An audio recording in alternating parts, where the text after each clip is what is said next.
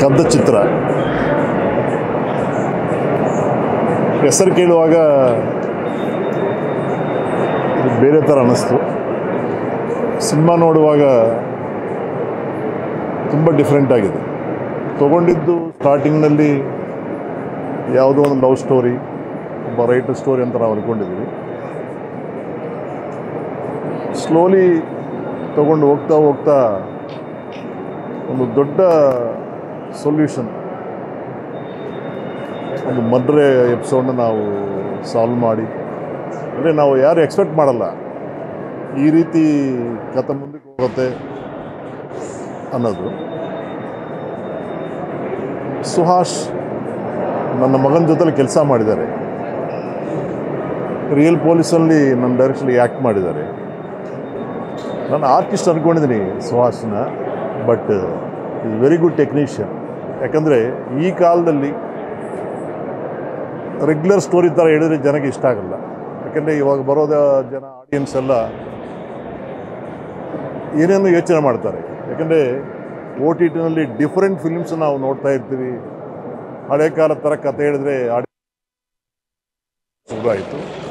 ಆ ಟ್ರೆಂಡ್ಗೆ ಈ ಕದ್ದ ಚಿತ್ರ ಸೂಟ್ ಆಗತ್ತಂತ ನಾನು ಅಂದ್ಕೊಂಡಿದ್ದೀನಿ ನಾನು ಈ ಕ್ಲೈಮ್ಯಾಕ್ಸ್ ಎಕ್ಸ್ಪೆಕ್ಟ್ ಮಾಡಲಿಲ್ಲ ನಾನು.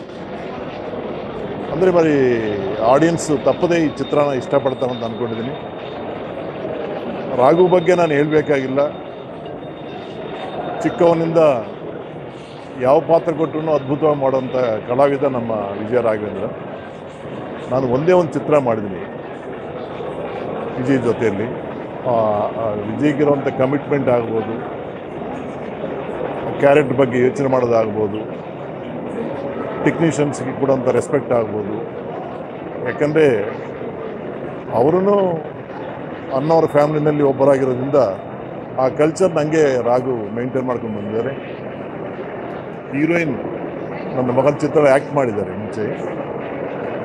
ತುಂಬ ಚೆನ್ನಾಗಿ ಕಾಣ್ತಾ ಇದ್ದಾಳೆ.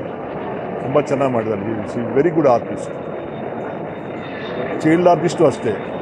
ತುಂಬ ಚೆನ್ನಾಗಿ ಮಾಡಿದ್ದಾರೆ. ಕಲಾವಿದರು ಕಡಿಮೆ ಆದ್ರೂ ಅವರ ಕ್ಯಾರೆಕ್ಟರ್ ತುಂಬ ಜಸ್ಟಿಫೈ ಆಯಿತು. ನಮ್ಮ ಫೈಟ್ ಮಾಸ್ಟರ್ನು ಕ್ಲೈಮ್ಯಾಕ್ಸಲ್ಲಿ ತುಂಬ ಚೆನ್ನಾಗಿ ಮಾಡಿದ್ದಾರೆ.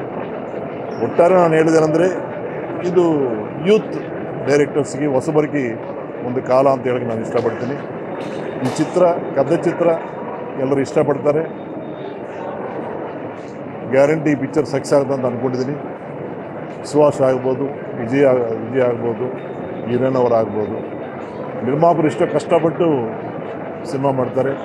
ಸಕ್ಸಸ್ ಆಗಬೇಕು ಅನ್ನೋದು ನಾನು ಆಸೆ ಪಡ್ತಾ ಇದ್ದೀನಿ. ಬೆಸ್ಟ್ ಆಫ್ ಲಕ್ ಟು ಕಥೆ ಚಿತ್ರ unit and Vijay.